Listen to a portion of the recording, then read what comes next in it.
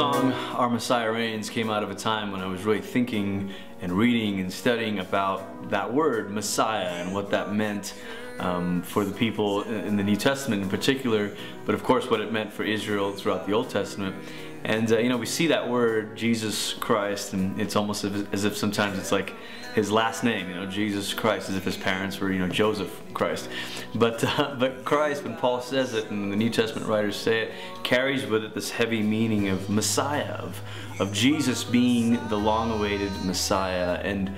going back and rereading some of the prophecies and the, the, words of Isaiah and the things that he said and the hope that they had of what Messiah would do, of how he would make heaven and earth new and how he would end war and restore Israel and restore the world, restore all creation. And, and just thinking about those themes, I sat down at the piano one day and just began to kind of sing that first line. You broke the curse of death for you are uh, the risen one. Heaven and earth will be made new for you are the chosen one. And understanding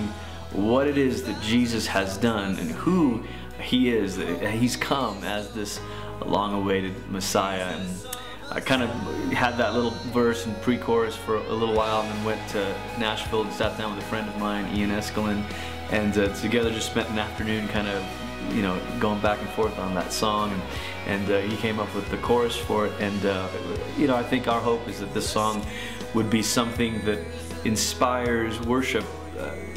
for Jesus, obviously, but inspires kind of a, a, maybe a fuller picture of who he is and what he's done and, and what his life and death and resurrection means, not just for our souls and our sins, but for all creation itself.